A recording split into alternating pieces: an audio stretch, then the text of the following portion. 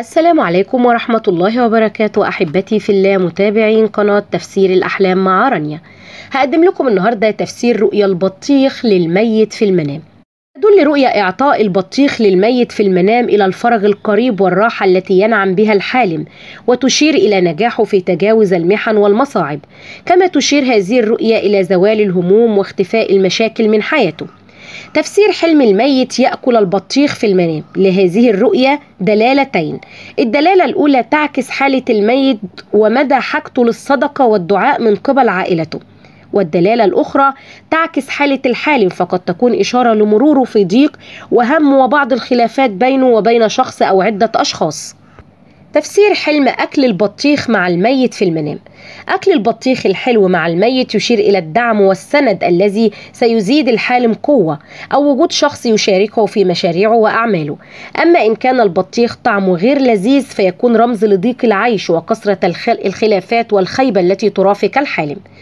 تفسير حلم الميت يطلب البطيخ في المنام.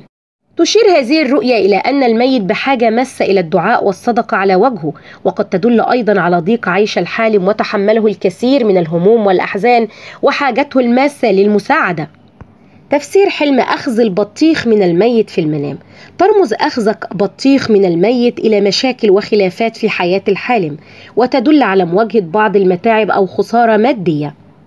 تفسير رؤيا الميت يأكل بطيخ أحمر في المنام. يرى علماء التفسير أن حلم الميت الذي يأكل في المنام بطيخ أحمر من الأحلام الجيدة المطمئنة والتي تشير إلى محبة الأحياء للميت وما يفعلونه لأجله من صدقات جارية واستغفار له.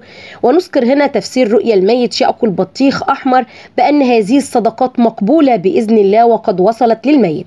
كما تدل رؤيا الميت وهو يتناول البطيخ الأحمر على رضاه التام على أعمال الحي التي يهديها أجر وثوابه للميت. سير حلم إعطاء الميت بطيخ للعزباء. عندما يعطي الميت للعزباء بطيخ أحمر فهذه دلالة على قرب زفافها. وإذا أهدت العزباء في الحلم للميت بطيخ أحمر فهذه دلالة على تصدقها عنه ووصول الأجر له بمشيئة الله. حلم إعطاء الميت بطيخ للمتزوجة دليل على البركة في المال والصحة والرزق والله أعلى وأعلم.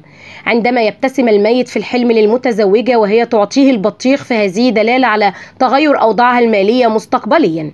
وإلى هنا تنتهي حلقاتنا ونلقاكم في تفسير جديد. فلا تنسوا دعمنا دائما بالإعجاب بالفيديو والاشتراك في القناة وتفعيل الجرس ليصلكم دائما كل ما هو جديد لنا. إلى اللقاء. والسلام عليكم ورحمة الله وبركاته.